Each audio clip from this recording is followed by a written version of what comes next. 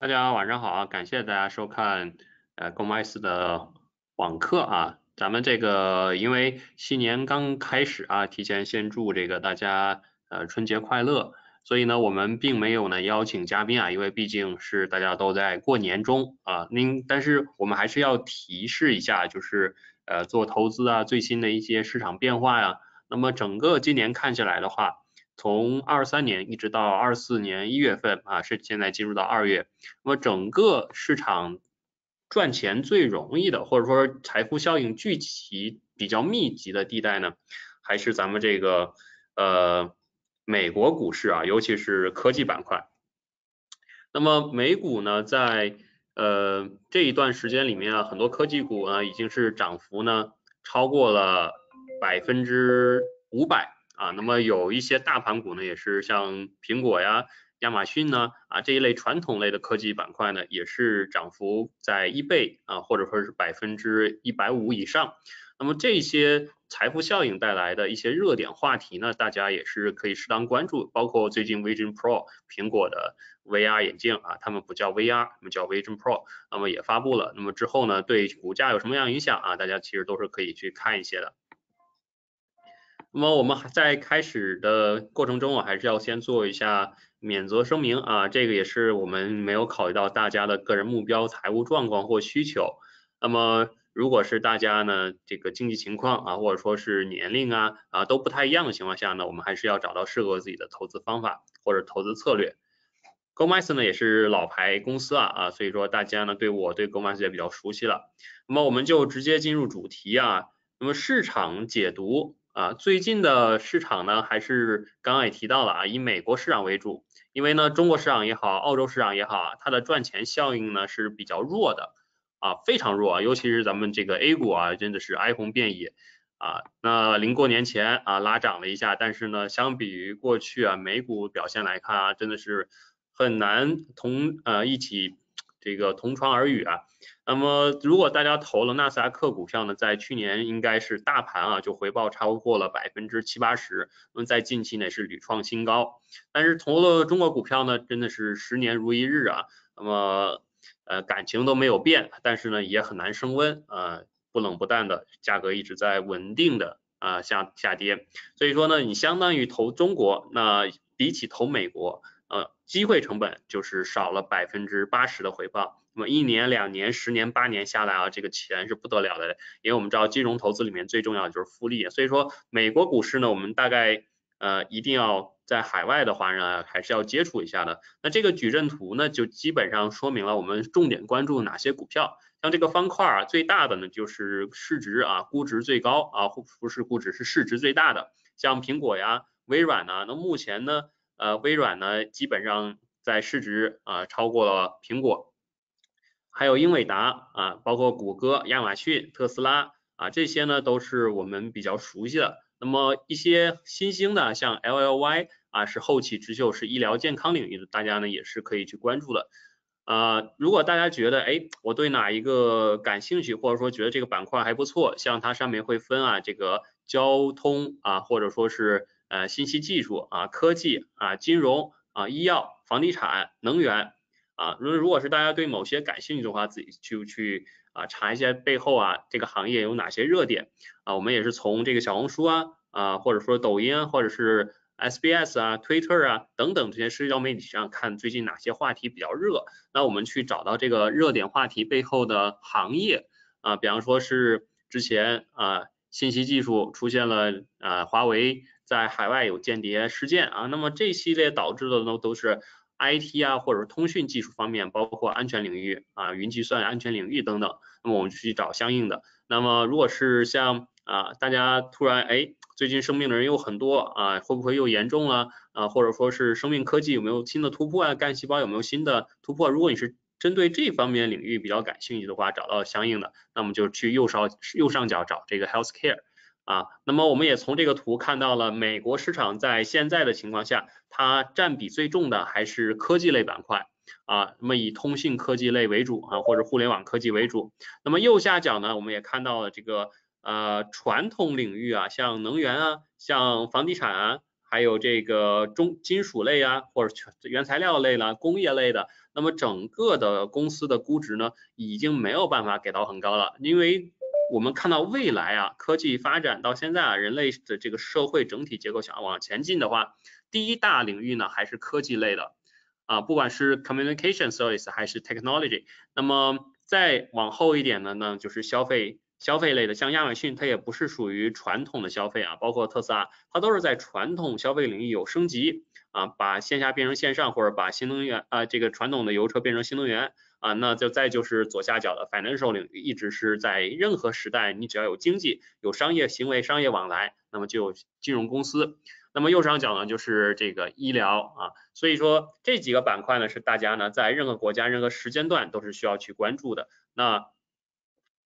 嗯，它只有在这种领域里面才会产生巨无霸和大的龙头啊。那么在呃过去一年的时间里面呢，我们也看到啊，就是比方说从啊去年到今年啊，我们过去一年的时间啊，这些股票上涨幅度大的，你像这个英伟达上涨了二点三倍啊，那么 AVGO 啊，还有这个微软上涨幅度都比较大，AMD 也上涨了一倍啊，都是做芯片啊，或者说是相应领域的啊，硬件领域的。那么 Meta 呢？Meta 是 M E T A 啊，啊就是在中间这个位置，J O O 这是后面啊，J O O 这呢就是谷歌，后面是 Meta，Meta 呢就是我我之前在疫情呃后啊应该是那二一年、二二年、二二年左右吧啊那个时候呢啊呃去墨尔本做活动啊。年终活动还提到了这个 Facebook 转行转型啊，变成了 Meta 之后，那么我们在一段的市场静默期或者市场不认可之后，那么一旦这个行业迎来爆发期，这个公司啊是跟着行业走的，所以说呢它的股价呢上涨了一点五倍，当然现在呢可能会啊还要超过这个。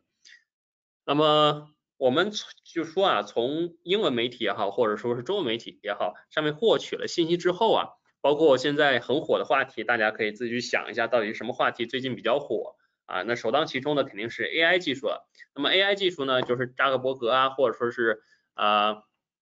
像这个伊隆马斯克啊这些人，他们就比较活跃嘛，他们总会创造各种各样的话题。那我们其实可以看一下他们 Twitter 啊各种内容上面都说了什么，然后呢去找到他们在资本市场上的一些操作啊。你像那个这个扎克伯格啊，对吧？他就是。在说 AI 好，我要投 AI，但是呢，他也会从另一个角度告诉你，他认为现在的公司的估值的股价已经偏高了。我们看到从二月五号以来啊，基本上这个内部交易的全部都是呃扎克伯格在卖出 Meta 啊，Meta 的这个老大啊，扎克伯格在卖出股票。你看啊，他这个二月七号卖了是一千六百万，卖了两千九百万啊，光一天呢就卖出了。三千六百万美金啊，然后呢，我们再看二月六号，他又卖出了两笔啊，两千八百多万和一千五百多万，他基本上这就快上亿了啊。那么二月五号又卖出两笔啊，一次又是两千九百万和一千六百万啊。在过去呢，他呃也是断断续续的啊，但是大额的呢就是在最近啊，就二月份进入二月份以来，五月我二月五号啊六号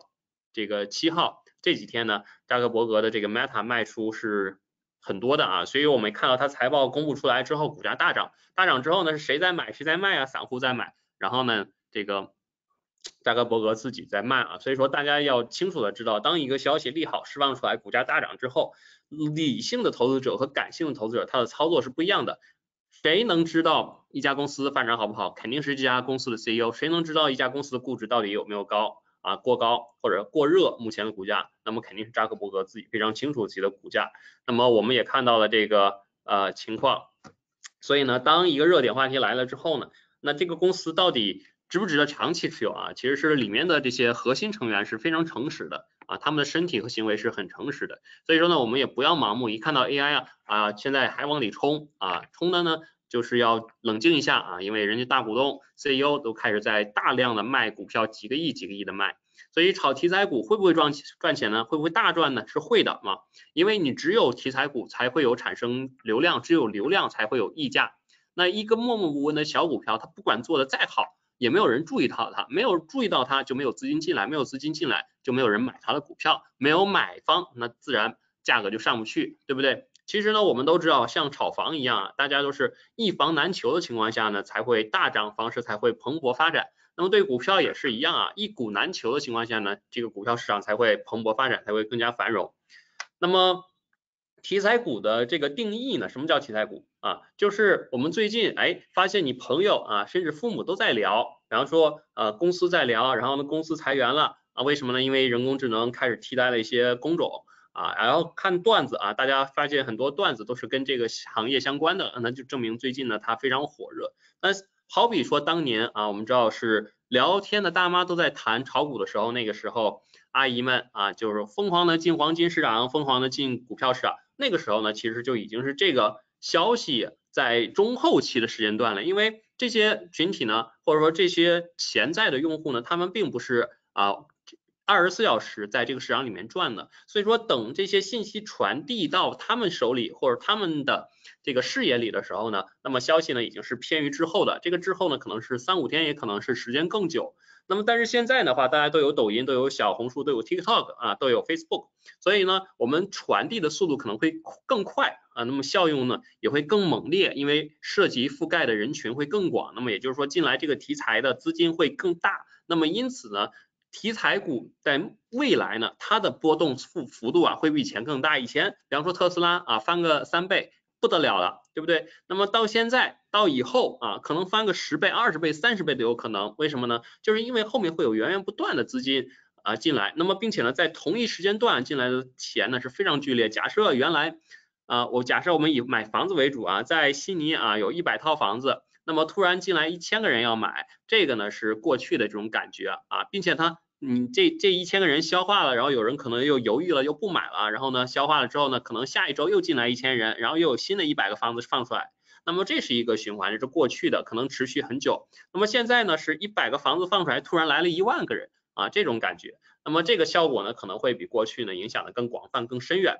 那么我们还是回到最近的，就是人工智能啊这方面啊，我们看这个包括苹果出了很多的这个 Vision Pro，那么你在抖音上面可能都会搜得到啊，一些社交媒体上面，就大家带着它出去玩啊，出去行动啊，甚至开车呀、开飞机啊都可以带着它，甚至做手术都可以带着它。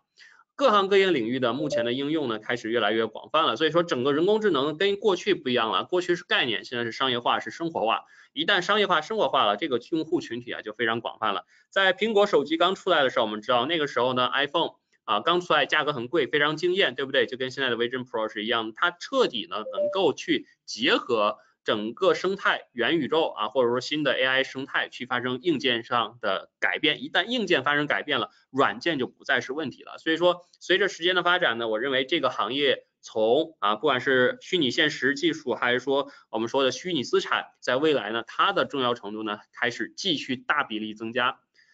那么，呃，ASMCI 呢，也就是这个呃整个的呃代表啊，就是他们为代表，最近二月份出了很多美股财报，包括啊微软啊等等啊 Meta 这些都出了，出财报都是啊超过原有预期啊。远远超过了，但是呢，这个大幅度超过啊，可能会在两三年的时间里面就结束了，因为新的科技生产力的这个爆发，新的呃美国这些企业可以把软件啊、把服务啊卖给全全世界啊，可能两三年的时间呢，这些全世界的公司呢就基本上普及化啊 AI 这些成果了。所以说呢，在最近啊这段时间，虽然大家看到了股价非常高，但是呢它的估值啊还会继续增长，为什么呢？因为它现在这些全世界，如果我想用这个 AI 软件，我去哪里买？啊，我就只能用这些巨头的，我去哪里买设备、买硬件、买显卡？那我还是只能跟他们去买英特尔啊、啊英伟达呀，对不对？那我微软对，还是这这几家我去跳，不可能说哦，AI 人工智能这么强大、这么先进，投入投入这么大的一个啊行业，一个新兴行业，我需要雇很多教授啊，我需要每年花几十亿、上百亿美金，我不可能找一个初创公司啊，说你有一个 AI 产品我就去买，对不对？你像啊苹果的 Vision Pro，它的制造成本啊。就是在第一台生产出的成本可能是几十上百亿美金，但是第二台、第三台就会很便宜，对不对？那我们不可能第一台的这个场景去找一个初创或者小公司去买，所以说呢，呃，一旦当我未来的一些小型公司使用这些巨头生产出来的工具，哎，我付费，我每个月付十美金、二十美金、三十美金啊。当这些群体饱和之后，那么这些巨头的增长才会停滞下来，他们就会进啊去研发下一个领域。那么这个过程可能会持续两到三年，因此呢，大家看到股价目前很高啊，但是不用恐慌，每一次的下跌都是中长期投资者进入的时机啊，因为这件事情不是说几个月就结束了。它传递到世界的各行各业、各个国家、各个角落，它需要时间的。那么只要时间没结束，只要没有完全覆盖到每一个可以使用手机的人群体身上，那么这个事情就没有结束，他的生意呢就还可以继续做，他的钱就可以继续赚。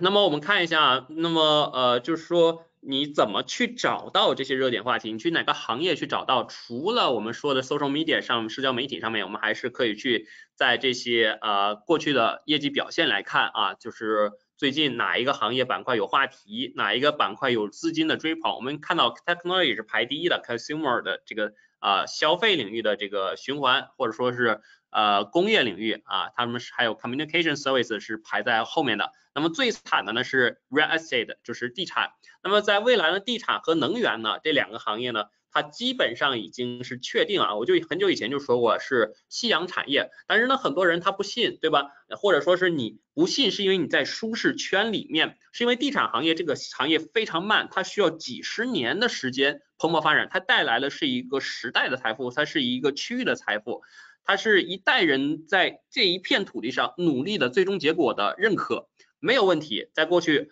我们的努力创造出来的结果是在物理世界里面，但是呢，未来我们看到的更多的财富创造出来的，并不是在物理外界的这种体验上，而是在感官精神上面啊这些需求。那么 technology 和 consumer 还有这 communication，我们需要的是这种层面的，包括第一幅图最大的那个板块的价值，依旧是来自于这些公司，而不再是 energy，不再是能源、石油，对吧？不再是 real estate 地产。那么我们再看一周的表现啊，我们抓住未来，那么其实还是在前面的这几个板块，那么再加上一个 healthcare，就是啊生命健康。那么在一个月的时间周期里面，technology 已经涨了百分之九，在三个月的时间周期里面已经是涨了百分之二十一啊，这个是整个行业。所以说呢，以前我们买房子对吧？我们看一年上涨百分之三、百分之五、百分之七，我们是享受的是实业经济固体的这种。呃，资源累积出来的一个结果，但是呢，那个也就是说让你一年百分之五、百分之七的增长，但是呢，我们现在看到的是 technology 技术科技方创新新的阶段已经来了啊，并且我们现在已经是在风口上面了，那这个速度呢就非常的快啊，那么再看这个半年和一年的表现呢就更夸张了，一年赚百分之四十四，对不对？那你有这个钱，你投十万，一年赚四万多，你去换个车，对吧？去干个别的啊，那非常开心。但是呢，如果我们不小心投到了一个呃发展很缓慢的行业，比方说我们看到一年的表现，resident 和 utility 都是负的啊，甚至接近负百分之十，那你投这个行业呢，可能就是负百分之十啊，在不用杠杆也不去真实操作情况下，还没有算你投入的时间成本了，对吧？你加在一起呢，十加百分之四十五呢是百分之五十五差距，那么两年下来，别人就比你多赚一倍多啊，不要忘记时间还有复利呢。所以呢，我们做的呢就是去找到目前热点，热点当下全世界全人类的热点都不在房地产上，而是在新的科技变革的机场技术革命上面。如果大家对 AI 这件事情还有怀疑的，你去用一下，去体验一下，不管是什么东西啊，不管是哪个行业，不管是翻译软件还是这个谷歌搜索啊，你去用它的 AI 版的啊，或者说是 ChatGPT，或者说编程 code。啊，或者说是做一个短视频啊，一分钟一句话就可以产生一个视频，你去用一下，体验一下，你会知道，哎，这个世界的未来已经出现了。那我们现在不拥抱的话，你可以，你不去学习也可以，但是呢，你的投资要往这上面靠了啊，你的被动投资、被动收入，你要这个行业带给来带给你未来的财富增长，让这个行业里面最有才华的、最有能力的一批人，但是不是让你追高啊，因为。扎克伯格是不是也在卖股票了，对不对？他是不是也觉得自己的股价估值过高了？不是让你现在去买啊，就是说你一定要把你的资产的配置比例往这上面去靠了。那么现在估值偏低的呢，主要还是在港股上面。腾讯厉不厉害？非常厉害，今年发钱啊，发多少个亿出来？我也不知道，但是我知道他发三十个月的工资作为年终奖，三十个月工资。腾讯啊，随随便便一个人的收入是一两百万人民币，发三十个月，相当于是发大几百万哦，一个人哦。所以说呢，腾讯是很赚钱的，并且呢，它有大量的现金流啊。大家如果是觉得海外的股票，哎，挂价格过高了，但是腾讯可以啊，腾讯可以抄啊，对不对？我做不出来 Vision Pro，我可以抄一个，我可以去模仿一个，模仿的成本很低。你研发一个第一第一代的 Vision Pro 可能需要十亿美金，但是我仿一个的成本可能只需要一亿美金，我给它拆了，我重新仿一个，那这个研发成本就低了很多。但是我们不是说呃既推荐这种做法，也不推荐啊，但是呢也没有办法，这是正常的商业行为。啊，所以这是为什么有专利和版权，以及人家定价可以那么高，安卓手机定价就是比苹果便宜，对不对？那么华为后面也是靠多少年追上来了，以及整个国家和消费者的扶持。所以说我们不考虑那么多，但是呢，大家如果想在这个行业里面赚到下一桶，就比较相对确定的，找到这个行业低估的地方，那么就是在港股上面，就是在腾讯啊，在网易，在美团，在百度，在快手，在阿里巴巴，在京东，在这些公司上面，他们呢？就是中国的互联网巨头里面啊，能够有能力第一批享受 AI 成果，并且呢，创造出属于他们的价值收益或者价值曲线啊，只有在这些公司里面才才能产生啊，你总不可能去买这个恒大，对不对？你说恒大能产生什么 AI 的未来科技变革呢？不可能的啊，但是小米呀啊，快手啊，这些都是有可能的啊。那么在过去呢，没有中美。呃，贸易问题或者说是在大部分的情况下呢，恒生科技指数和纳斯达克的互联网指数呢，它的涨幅和波动曲线呢基本上是一致的啊，所以我们基本上如果是大家哎觉得美国现在太高了，我香港现在还是比较低估的啊，当然香港有长期的政治问题或者说是政治不确定性啊，这个是触及了啊资金流动流出啊，但是我们没有关系啊，你公司好公司，你今年不涨，明年不涨，你总会有一天它的估值是要兑现的。啊，因为社会全社会的资本流动呢，它始终是会从价值被高估的地方跑到价值被低估的地方去，只是说哪些资金更有耐心，哪些公公这个哪些机构啊大钱啊，他们的资金成本更低啊，所以说他们可能会先过去埋伏，所以他们赚的钱是最多的。那么现在呢，对港股目前呃科技类的板块呢，我觉得是一个非常好的低估的价格。那么在港股方面呢？像阅文集团、京东、阿里啊，那么表现涨幅也不错啊，跑赢恒生科技指数。那么美股方面呢，在知乎啊、唯品会啊这些公司都是在我们的软件上可以买的啊，那么涨幅也不错啊。还有一些其他像百度啊，甚至新能源汽车啊，大家都可以去尝试。那么当然了，最猛的还是说这个 Meta 还英伟达本土的美国公司啊，美图公司的表现也不错。那么真实案例了哈，我们来看一下微软呢在。啊，过去 PC 时代它的涨幅呢是很缓慢的，为什么呢？因为它创造出来的价值是可以计算出来的。我有多少人买了你多少的 Windows 软件啊，买了你多少电台电脑啊，你一个市场有多少群体，这个群体里面每年你能够渗透多少，有多少人会买到，这个是一个确定的，因为你相当于是开多少门店，就会辐射到这个地区的多少消费者，对不对？在九几年的时代，没有互联网的，没有抖音的，没有带货的，那个时候就是你开多少门店，你。就跟 World Cos 一样，你辐射这个地区啊，那我们知道它的股价是以什么样的增长方式啊？那么就是在左下角啊，这个八六年到九六年的这样的一个增长方式啊，它是一点一点的震荡缓慢上行啊。那么在两千年互联网泡沫之后呢，我们发现，哎，哎呀，这个经济危机来的太惨了，整个互联网行业被抛弃。为什么？就跟当年万达气势汹汹的说啊，线上是不可能。火的，那么现在有了 Vision Pro 之后，你换衣服啊，都是一键可以换衣服。你 Vision Pro 里面前有个镜子，镜子里面就是你现在可以完全看到你自己。这个镜子呢，它还是 3D 的，它不是平面的了，它不是二维，它变成三维的了，它甚至变成四维的。看你十年后你穿什么衣服好看啊，你十年前你是样子是什么样的，它都可以模拟出来，这个是非常恐怖的。在 Vision Pro 里面，你可以站十个你，从呃十岁、二十岁、三十岁啊、四十岁、五十岁、六十岁、七十岁。啊，巴拉巴拉巴拉啊！你看你你穿什么样的衣服，你大概是一个什么样的形态，Vision Pro 都可以给你立体化的穿越时间线的去实现。那么这个时候你说线下的体验是干什么呢？线下的体验无非就是去喝喝咖啡，跟朋友去逛一逛街，散散步，对吧？你今天今天走的步数太少了，但是呢，我们现在的发现了啊，新的这个科技发展已经让你在家里可以走路了，不是在走走步机上啊，是比那个更先进啊，是有哪个公司正在研发的，我我忘了啊，也是一些科技巨头。那么我们看到了整个当两千年开始啊，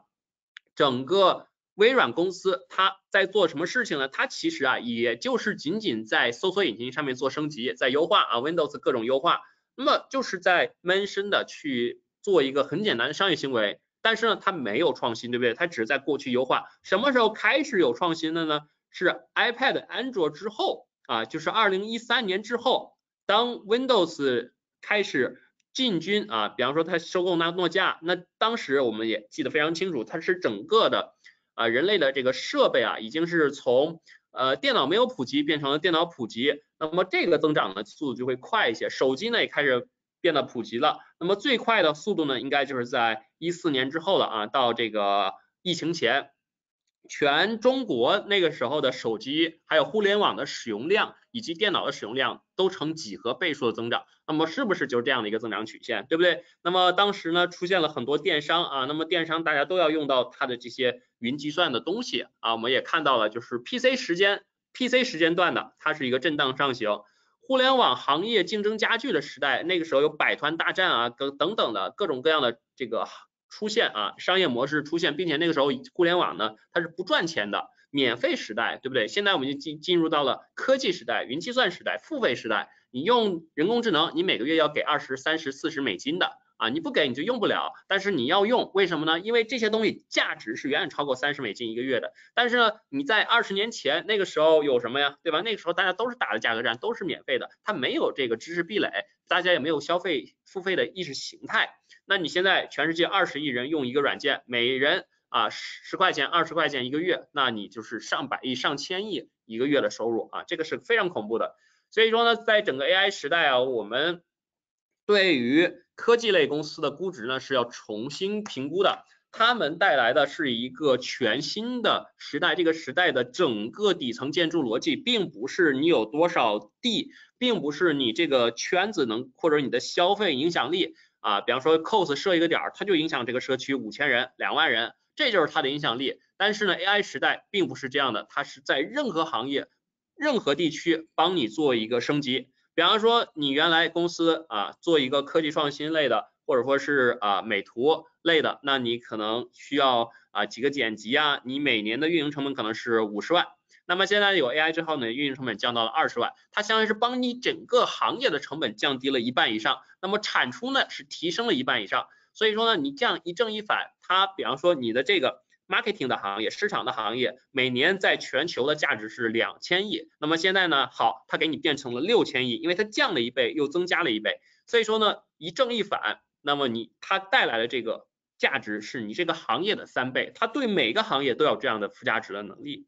所以说呢，微软也好，苹果也好，现在全部都在变革啊。当然了，我们现在看的呢，就是说我们要去找一个呃适合自己的，或者说你可以买一个 OOO 啊三个 O 的这样的科技类的基金，也可以直接买纳斯达克，在 g o m a s 的平台上都可以直接去买啊定投。那么谷歌呢也非常有意思啊，谷歌在过去呢也是从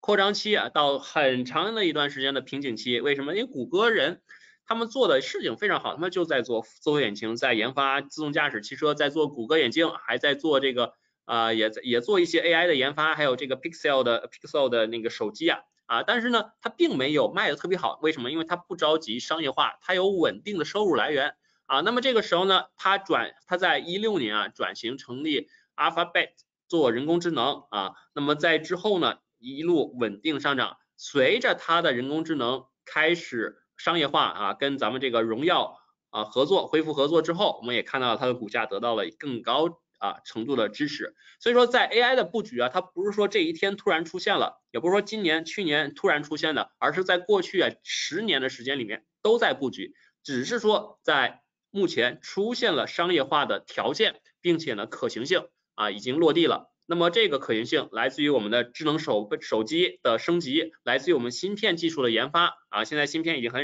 很小了，不然你以前要扛一个那么重几十公斤的大电脑怎么去做，对不对？你现在只需要一个手机、一个手表、一个眼镜就可以了。那么现在也有更新的 VR 技术啊，或者虚拟现实技术。那么软生态也可以了，像 Meta、Facebook 的啊公司母公司，对不对？Meta 已经元宇宙深耕了快十年了。所以呢，软软件、硬件、资金、资本都已经实现了啊，都已经 ready 了，做好了准备啊。那么在疫情之后呢，这一系列的信息啊就嘣爆发出来了。因为疫情大家没什么没什么事儿干，对不对？澳洲人就在家生小孩啊，那么美国人就在家研发这些新的科技啊，当然开玩笑。所以呢，我们其实能够看到的就是说啊，我们在各个领域，文娱、游戏、社交平台、电商、SaaS 啊这一系列的细分板块，它都属于。AI 里面随时可能会产生龙头的啊。当然了，你说这个 Boss 平台呀，啊贝壳呀，我觉得中国的公司啊很难，除非是它有大量的现金或者像百度啊有钱去投，那么也有面对失败的可能性。我认为中国公司里面最有容易成功或者最有大概率能够成功的就是腾讯控股啊，所以说它呢收盘啊不到三百块钱，大家就可以考虑。未来呢一旦打开了中国市场啊，它腾讯啊目前的这个。估值各方面是一个比较成熟的企业，非常低。那么阿里呢也是不错的，因为它的这个市盈率很低啊，只有八点几啊，这个六点几现在啊八点几附近来回震荡啊，它的这个人员团队的基础也是比较好的。所以说巨头来讲的话，我最最啊比较青睐的呢还是腾讯。那么像美股啊这些拼多多呀啊大家也都可以关注，因为拼多多目前的销售额还是很厉害，但是它在人工智能上面啊。它可以再啊深化一下算法啊，包括英伟达这些传统的 Meta 啊，亚马逊、微软啊，大家还是要关注。那么除了这个呢之外啊，大家可以就是没事啊搜一搜最近的热度词，看一下啊，再生农业很火，我去找一下农业的股票。猫相相应的这个猫啊、狗啊、小宠物啊很火热，那我就去找一些类似的话题。那我看看，哎，像猫小狗相关的一些呃疫苗类的股票啊。啊，还有这个零售电商平台呀，还有这个宠物呃医院连锁连锁股票啊，啊有没有价格合适的啊？那么还有这个人脑机脑机接口啊，就是大猩猩思维这些有没有新的领域啊？比方说是结合了呃这个马斯克的一些公司啊，有没有一些新的可能上市的机会？因为他们这些公司啊上市的价格都很低啊，有没有这种啊股价还没起来？在我们看这个十五啊，就是经济不景气的情况下，大家都去搜副业了啊，不仅是咱们华人搞副业，老外他也要去搞副业。那搞副业怎么搞呢？啊，我们就要找到呃你自己能够擅长的领域。那么其实呢，我们 找到这个领域之后啊，你还是要研究这个领域背后的呃价值逻辑、投资逻辑。还有发展逻辑啊，那这几个逻辑你怎么去验证呢？你就要去找到这个市场上比较成功的案例，最成功的案例肯定是来自于上市公司的，因为它圈的钱最多，它赚的钱是最多，它占有的市场份额是最大的，所以你到头来还是要研究股票。你研究这些生态之后，你研究这个行业龙头啊，你就知道，哎，你自己的生意应该怎么去引导。啊，到底是发像你开个餐厅，你说，哎，我开个餐厅，我跟这些东西没有关系。你开餐厅，你也能开成海底捞，也能上市，对不对？为什么人家能轻轻松松的就做到那么大的规模呢？所以要学的地方很多，要借鉴的领域呢也很多。啊，做金融投资呢，只是我们的一个副业，或者说是一个学习这个世界成功商业模式的一个捷径，或者说是看到这个世界发展路径的一个渠道。啊，世界是在向哪里发展？那么股票上面的资金就会追到哪一个行业、哪一个板块、哪一个领域、哪个个股上面啊？我们看到它涨，我们就知道这是未来，这是社会的未来、科技的未来啊，是能够影响到我们家庭整个未来几年走向，甚至投资教育方向的一个参考指标啊。就跟很多年以前我们这个美女都去哪里啊？去这个当空姐。那么传统领域不行了，那么美女都去哪里了呢？去做金融，去银行了。传统银行也不行了，又去哪里了呢？啊，又现在又去做抖音带货啊，去做直播了。所以说呢，我们看到的这些趋势和现象背后呢，都是有很简单的逻辑在里面啊。不管是投资，还是你运营生意，还是我们做家庭教育，培养下一代，我认为呢都是非常重要的。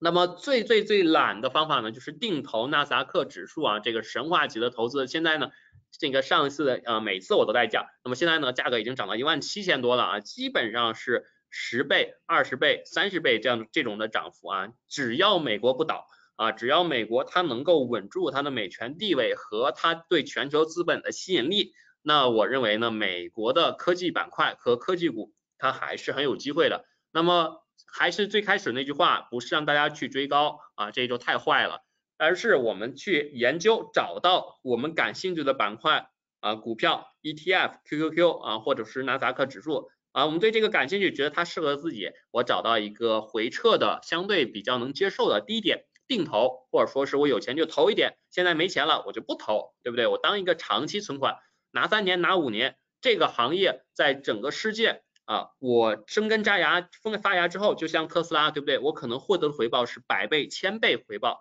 你投个几万块下去就变成几十万、几百万啊，那个时候买房还是难事吗？对不对？那时候房价说不定又跌了。为什么呢？其实因为人口的增长啊，它的供求关系一直在发生变化，而目前我们说。财富的集中的地方，一定是能够给这世界的社会生产力带来变革，并且呢，把生产力翻上四到五番之后，我们的股价回报才能有十倍以上啊。所以说，大家知道这个逻辑就可以了。那么，感谢大家今天的呃观看。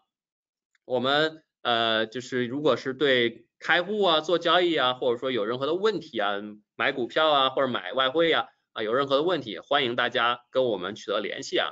那么，呃，祝大家晚安。